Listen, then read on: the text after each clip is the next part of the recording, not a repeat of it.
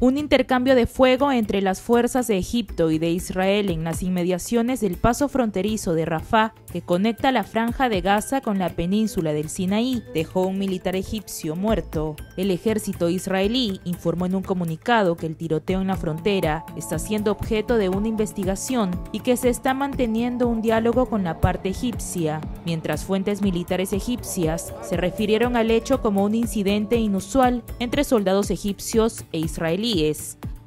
Además señalaron que las tropas israelíes huyeron después de los disparos y que el intercambio no ha continuado. Los soldados egipcios iniciaron disparos contra miembros del ejército israelí sin causar bajas, pero las fuerzas del ejército de ocupación respondieron disparando como advertencia. Este intercambio de fuego se debe a la tensión existente entre Tel Aviv y el Cairo, que se produce en el contexto de las duras críticas, dirigidas en las últimas horas a las actividades del ejército israelí en la ciudad sureña de la Franja de Gaza, después de que los palestinos confirmaran que decenas de habitantes de Gaza murieron en un incendio que se desató después de un ataque israelí en un campo de refugiados en Rafah. Hace unos meses, al inicio del conflicto entre Israel y Hamas en la franja de Gaza, un bombardeo israelí sobre el paso fronterizo dejó varios militares egipcios heridos de poca gravedad. Ahora, Egipto también ha abierto una investigación urgente sobre lo sucedido.